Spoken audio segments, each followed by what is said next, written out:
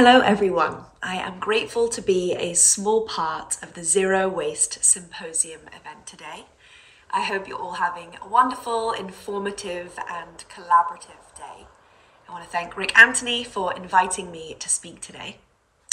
I was really pleased when I found out that this year's theme is Global Overview Local Action. I think this is the exact lens with which we must address the many issues that we face today.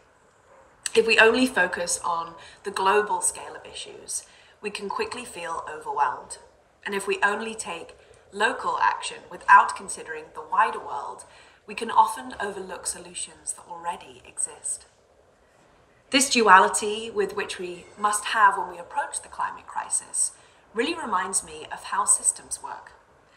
The macro and micro working together simultaneously each local step is needed to create the overall system. Like many of you, I am fascinated by systems and how they work. It was actually questioning why trash was ending up on a beloved beach I spent much of my childhood on in England that led me into my curiosity of systems. I was saddened to see trash destroy this beautiful ecosystem and wanted to understand how it got here and what I could do to mitigate it.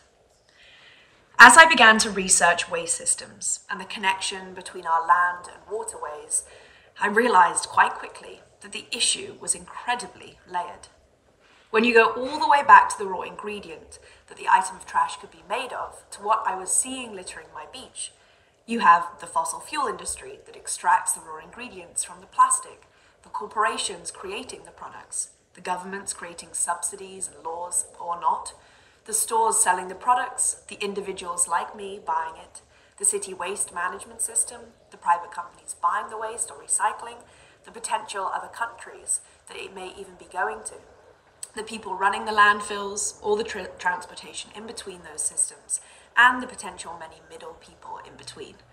Then there was how and who this who was going to clean up this trash that was on my beloved beach, if at all in just a few minutes of beginning to understand this system, it all felt totally overwhelming.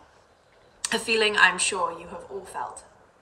It was impossible for me to really point a finger at a particular stage in this system or person. I was just one person, moved by something that was happening in my local environment. I questioned how could I connect to this big global system? So, I did what many of you probably do. I signed up to as many different climate organizations as I possibly could to just learn as much as I could from people who have already been doing decades of work in these fields. So I took action on petitions, I showed up to rallies and climate marches and met as many people as I could and tried to learn more about my local politics. Then in my home life, I started to really look at the trash I was making and take more responsibility over it by really understanding my materials, understanding where these came from, where they were going. Um, and I found personally focusing on these more individual sort of actions in my home helped me to feel more balanced when addressing the global issues. And all these actions accumulated over time through many, many subjects beyond waste to be the basis of my book, Go Gently Actionable Steps to Nurture Yourself and the Planet. I wanted to share the ways I had been taking individual actions in my daily life to connect with the positive impact I could have on my environment, myself, and my community. I believe we are a really practical species that have incredible skills, time, and emotions that can be leveraged into serious impact. But sometimes it's hard to know where to start. People often ask me, what's the one most important action I can take today? I hate to say it, but I feel and believe that this answer is never that simple, and I personally would never want to prescribe one action to all. There is just no size, one size fits all when it comes to the actions we can take. And the beauty, actually, of participating in the climate movement is that every action and every one is welcome and so needed. I think we are more likely to commit to long term to our action if we are intersecting it with an area that we have knowledge, skill, and interest in. So, as I'm going to repeat that because it's an important moment, if we commit and want to commit long term to our action, if we intersect it with an area we have knowledge, skill, and interest in, I feel we are more likely to commit to that long term. So, another question I like to pose back to people when they ask me that question of what's one action I can do today is what are you good at and how can you intersect that with what the world needs? For me, my life has been about storytelling. From an actress, a director, and now a writer, I know the best way I can interact with the movement is by being a good listener, noticing the thread of story and weaving that tapestry in an accessible and entertaining way. And then, on a more individual level, if we are trying to make changes to our daily habits, I think it's always best to start with something you enjoy doing in your day. For instance, for me, I love to cook.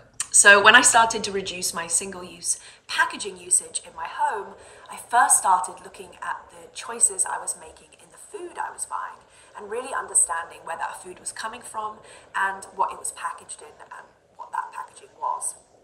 And I found it so, so much easier and more fun focusing on an area I knew I already loved than trying to overhaul my entire home and the packaging within it all at once.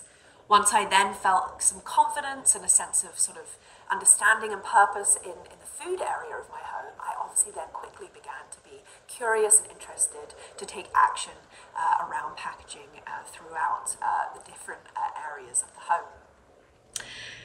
So today you're going to hear from many different people with unique perspectives, areas of study on a variety of issues. Our calling as human beings and as activists is to absorb, reflect, and take action inspired by our personality and our strengths. Once we feel confident in what we can give the world, I believe we can find our place in community much easier. Whilst my book, Go Gently, focuses on our individual action, that can only be the beginning. The power that lies in coming together just as you are today is where hope lies.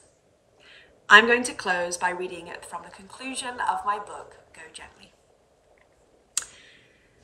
The Earth, and that includes the human species, needs us to show up with the collective in mind.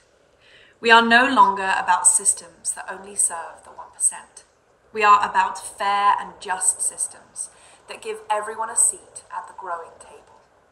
We are co conspirators in designing the future we want and I think one of the greatest gifts of the human species is our ability to imagine. So let's use our radical imagination to not only change the perceptions of the climate crisis, but also change our conditions. I believe we have agency over how we wish to leave this planet for our ancestors. Thank you so much uh, for allowing me to share some space with you today, even virtually. And I really hope you have a wonderful, wonderful day. Uh, and yes, thank you, my fellow Earthlings.